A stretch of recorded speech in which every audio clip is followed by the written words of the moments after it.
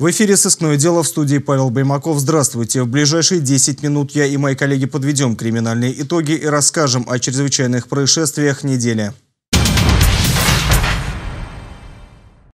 Ущерб на полтора миллиона рублей Самарскому региону, по данным областного управления Россельхознадзора, нанесли предприниматели из Казани, которые на протяжении нескольких месяцев ведут работы по демонтажу нефтяного трубопровода, который проходит по территории трех районов Самарской области.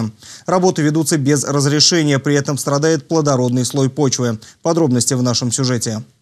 Пашни пастбища на участке протяженностью 40 километров в Большеглушицком районе Самарской области идут под нож, а точнее под ковш экскаватора. Поводом для раскопок стал нефтяной трубопровод, который пролежал в земле многие годы, но никогда не использовался. Теперь предприниматели из Казани, которые купили трубы, решили их достать. Вот только делают это с многочисленными нарушениями норм и правил. Россельхознадзор бьет тревогу. Ценный плодородный чернозем, который формировался тысячи лет, производители работ мешают с минеральным минеральным слоем, что весьма негативно скажется на урожайности посевов на этих площадях. Люди а, простым росчерком экскаватора на площади нарушили плодородный слой, выверили минеральную породу нижнюю, там с двух метров, там с полутора метров, насколько была труба уложена.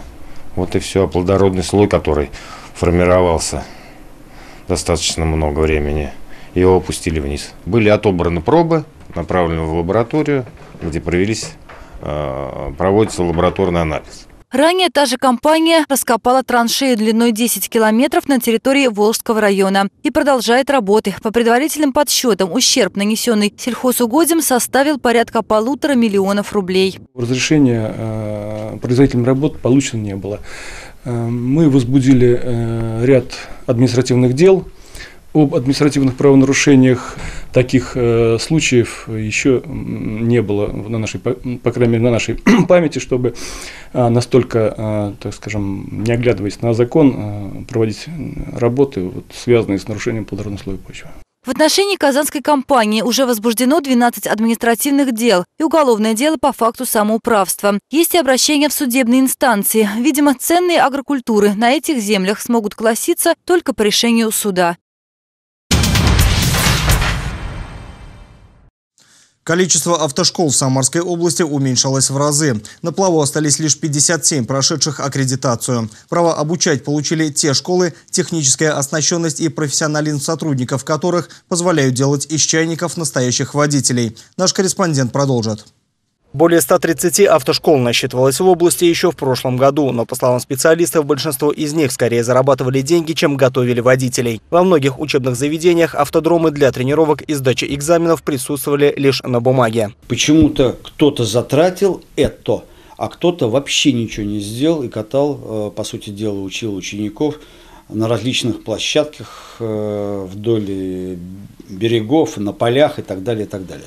Отсутствовал и постоянный штат инструкторов и собственный автопарк, которые у серьезной автошколы быть должны. В итоге полный курс обучения, а самое главное – навыки вождения давались далеко не всем желающим получить водительские права. В лучшем случае теоретическая часть, часть на компьютере, которые могут быть. И далее получение свидетельства об окончании этой школы и свободный уже полет на экзаменационную деятельность. После этого курсант сдавал и по 5, по 7 раз. В данном случае он оказывался в следующем. Он больше жаловался на госавтоинспекцию, почему к нему принимают такие строгие меры.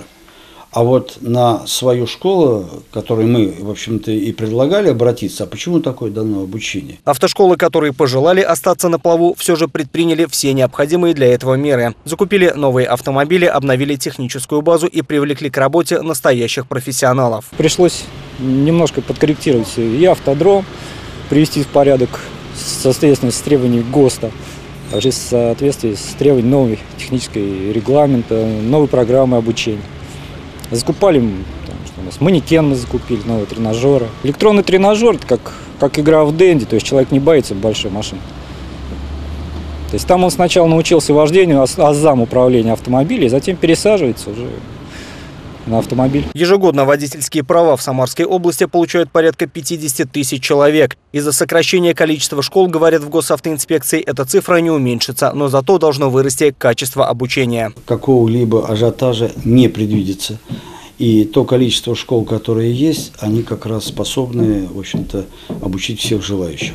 Но надо четко на сегодняшний день понимать, что то количество школ, которые сегодня получили, мы будем их контролировать, чтобы это дальше, э, в общем-то, все соблюдалось в рамках существующего законодательства. Сейчас право на обучение в Самарской области есть у 57 автошкол, 30 из них в Самаре. С их перечнем и адресами можно и нужно ознакомиться на сайте областного управления ГИБДД.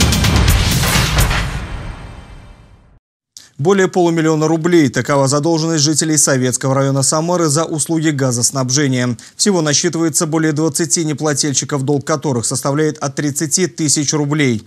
В связи с этим ресурсоснабжающие организации совместно с судебными приставами вынуждены идти на крайние меры и перекрывать подачу голубого топлива, устанавливая на трубу запорное оборудование. На газовый кран перед газовым прибором устанавливается вот такое запорное устройство – закрывается на ключ, ставится так на трубу, после чего пломбируется. Абонент не имеет права ни срывать пломбу, ни снимать его самостоятельно. То есть он не сможет самостоятельно уже подключиться к газу. Будет сидеть без газа до тех пор, пока, мы, пока он не оплатит полностью, не погасит долг. После того, как они оплачивают э, задолженность, им в тот же день э, сотрудники Самаргаз э, подключают газоснабжение обратно. Прошло 16 лет, но память о них до сих пор живет в сердцах коллег, родственников и друзей. В областной столице почтили память 57 сотрудников милиции, погибших при пожаре в здании УВД в феврале 99 года. В течение 16 лет в трагическую дату Вениамин Чернецов приносит цветы к мемориалу. За пять лет до трагедии он ушел на пенсию, но на боевом посту продолжали оставаться его коллеги. Память о них стереть невозможно, рассказывает полковник запаса. Теперь нам остается жить и помнить жить и помнить, что вот были люди, которые здесь вот высечены имена которых на этих э, плитах, э, которые отдали свою жизнь, были верны клятве, ну и они в нашей памяти они будут, по крайней мере, в моей памяти они будут вечно живы. 10 февраля 1999 года в страшном пожаре при исполнении служебных обязанностей погибли 57 сотрудников, тогда еще милиция. Довоенная постройка с деревянными перекрытиями внутри вспыхнула как спичка. Огонь тушили почти сутки. По версии пожарных причиной стало замыкание электропроводки. Все эти годы руководство областного главка продолжает оказывать помощь семьям погибших тогда милиционеров. Мы обязаны, э, наверное, помогать, всемирную помощь оказывать детям сотрудников, погибших при исполнении служебного долга. Потому что ушли родители из жизни. Кто будет заниматься этими вопросами? Конечно, только мы. И мы этим вопросом занимаемся. В церемонии возложения цветов приняли участие представители различных ведомств. В часовне возле мемориала прошла служба в память о погибших. Прийти на помощь в трудную минуту готовы не только полицейские. В Самаре за активную гражданскую позицию и проявленный героизм объявили благодарность и вручили ценный подарок сержанту внутренней службы ГУФСИН Игорю Матушкину. Мужчина обезвредил и задержал двух злоумышленников, которые поздно вечером на улице напали на девушку и под угрозой расправы отобрали у нее сумку. У них была бита, я отнял у них биту, после чего, после чего задержал с помощью приемов рукопашного боя. Нас хорошо подготавливают, э, служебная подготовка, правила рукопашного боя, приемы, все мы это отрабатываем. Это нормальный гражданский поступок, я считаю так. В Федеральной службе исполнения наказания Игорь работает чуть больше года. На боевом посту, говорит, приходится видеть многое, не исключены и нештатные ситуации. Так что опыт есть. В итоге двое задержанных злоумышленников сейчас дожидаются суда. А мы напоминаем, если вы стали очевидцем того или иного происшествия, свои фото, видеозаписи и комментарии к ним вы можете прислать на наш электронный адрес sdsobaka.samaragis.ru. Лучшие из них попадут в эфир программы «Сыскное дело». На этом я с вами прощаюсь. Будьте внимательны к себе и окружающим. До свидания.